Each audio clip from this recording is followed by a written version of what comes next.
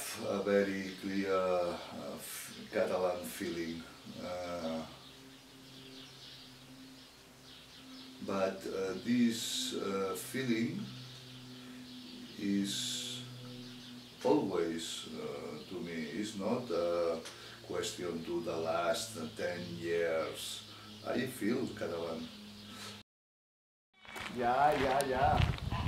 I have uh, only one brother, uh, he is uh, 62 and he is, uh, he, he has a Spanish uh, feeling. He's an excellent person. Uh, we can speak about these two difference uh, and everyone has a different opinion.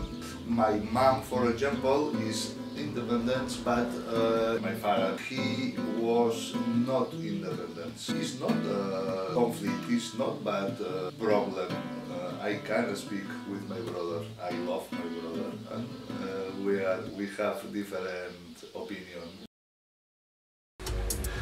They visit Barcelona for one month and don't understand the uh, independence feeling. Catalan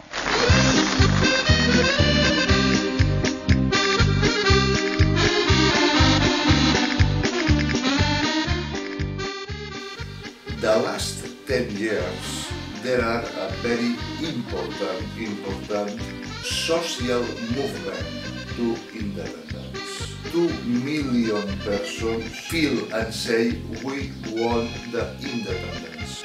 Two millions and half persons at the street in Barcelona at, around to Catalonia for the independence.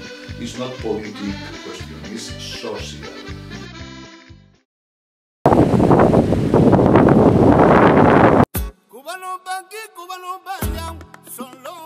Why Catalan and not Spain? Because all exterior influence building my uh, personality and my feel and I feel Catalan.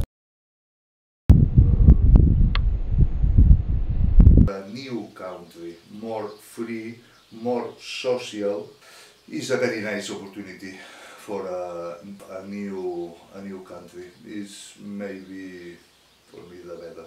Hmm? But we won't protect Catalonia. I love Catalonia. Huh.